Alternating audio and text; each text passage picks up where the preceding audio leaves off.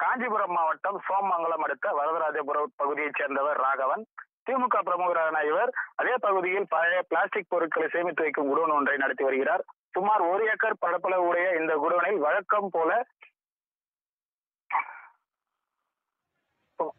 வழக்கம் போல பத்துக்கும் மேற்பட்ட ஊழியர்கள் பிளாஸ்டிக் பொருட்களை தரம் பிரிக்கும் பணியில் ஈடுபட்டிருந்தனர். அப்போது திடீரென எதிர்பாராத விதமாக குடோனில் ஒரு பகுதியில் கரும்புகை வெளியேறி தீப்பிடித்து கொழுந்து விட்டு எரிய தொடங்கியது. இதையடுத்து பணியில் இருந்த ஈடுபட்டிருந்த ஊழியர்கள் உடனடியாக குடோனில் இருந்து வெளியேறி சம்பவம் குறித்து ஸ்ரீபெரும்புத்தூர் தாம்பரம் மேடவாக்கம் உள்ளிட்ட தீயணைப்பு நிலையங்களுக்கு தகவல் அளித்தனர்.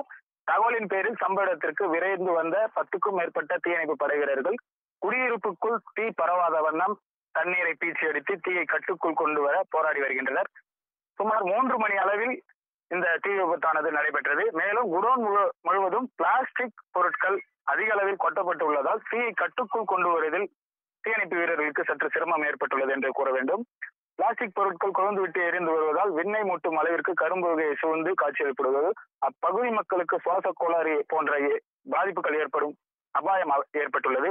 குடியிருப்பு மிகுந்த பகுதியில் கேஸ் குடோன் பிளாஸ்டிக் போன்ற குடோன்கள் நடத்த அதிகாரிகள் அனைவது மறுத்து வரும் நிலையில் சட்டவிரோதமாக சிலர் குடோனை நடத்தி வருவதாலே இது போன்ற விபத்து சம்பவங்கள் தொடர் தொடர்கதையாகி வருவதாக பகுதி மக்கள் வேதனை தெரிவிக்கின்றனர் மேலும் இந்த விபத்து குறித்து வழக்கு பதிவு செய்த சோமங்கலம் போலீசார் மின்கசிவு காரணமாக விபத்து நேரிட்டதா அல்லது சமூக விரோதிகளின் செயலா இருக்குமோ என்ற கோணத்தில் விசாரணை நடத்தி வருகின்றனர் மோகன்ராஜ் நகைய அடுக்க வைக்க போறீங்களா? நிறைய ஜுவல்ஸ் அதுக்கு கொஞ்சம் காசு. அதுக்கு வட்டி கட்டி கட்டி.